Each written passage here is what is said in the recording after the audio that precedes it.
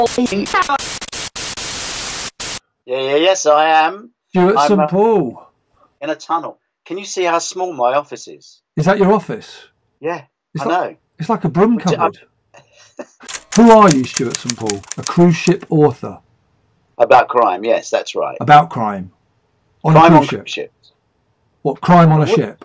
Yeah, Okay. this guy is sort of ex-army, ex-military, ex-special services. He's the hero jumps on the ship. Um, it's actually near. It's go, just about to go into Panama and then cut across and come back. Quite a complex one, actually. Yeah, so ship leaving from jumps on the ship just before Panama. He's sussed out the Panama. So when he does the commentary, it's really interesting Right. I mean, to be honest, if you go on any more, I won't need to read it, will I? because we also run a YouTube channel about port guides. which, YouTube. you know, yeah, yeah. Does It's anybody, channel does anybody YouTube. watch YouTube? Yeah, I get about 100,000 views every month. Right. Um, and effectively, we make port guides.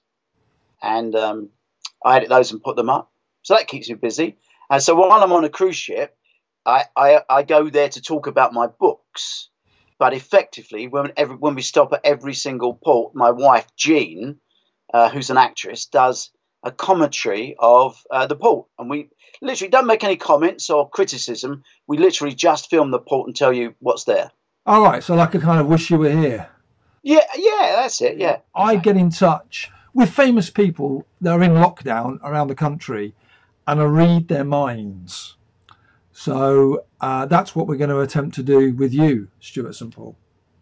Okay. Do you have any books that you've written there with you at the moment?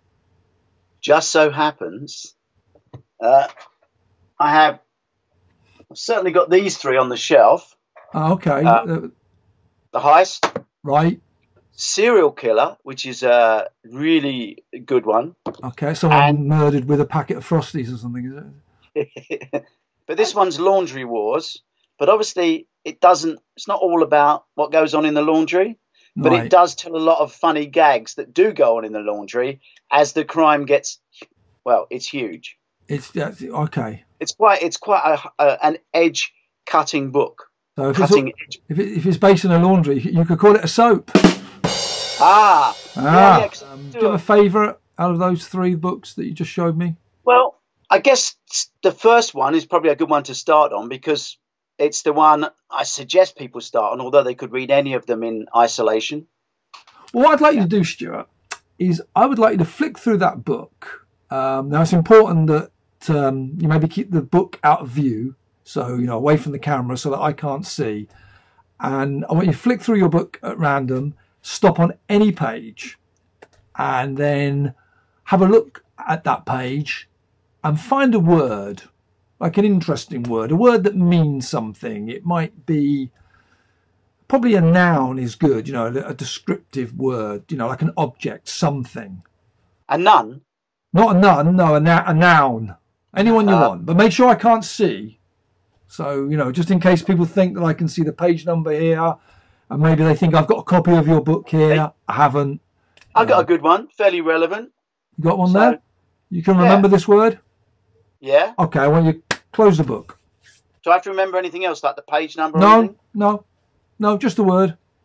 Okay, So you have you have a word in your mind I do. That you selected randomly from that book that you were holding. Okay. Yeah. Okay. Stuart, I asked you to flick through one of your books.